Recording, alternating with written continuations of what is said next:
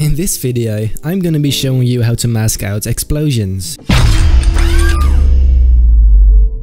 A very good afternoon, my name is Benjamin and welcome to this quick tutorial. So, have you ever wanted to make something really booming, like literally? Well, I did, for instance this artwork. Now, just like me, you've probably had this huge issue with finding good transparent images of explosions. But what if I told you you don't need transparent images? What if I told you you can just cut them out?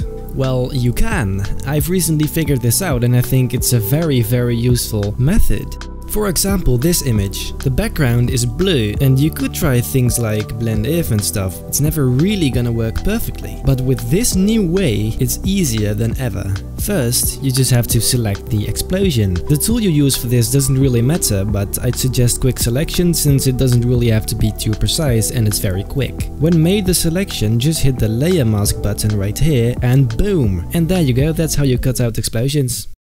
I'm just kidding. Okay, so obviously this looks shittier than everything you've ever seen in your entire life, but we're not done yet. Because when you double click on this layer mask, you're getting a lot of new options, including this wonderfully amazingly great tool, which is called Refine Edge Brush Tool, which is way too long of a name. Select that tool and make it about this size. Now, when you paint around these edges, carefully, you can see magic happen right in front of your eyes. So mostly this tool is used for cutting out hair, but I think it can and should be used for all kinds of complex edges. Now I hate to break it to you, but of course this tool doesn't always work. It really depends on the image you're cutting out. If the background is a very uniform color, like my first example image, it'll work way better than an image with an environment on the background. But whatever it is, you can always try. So there you have it, that's how you can mask out explosions.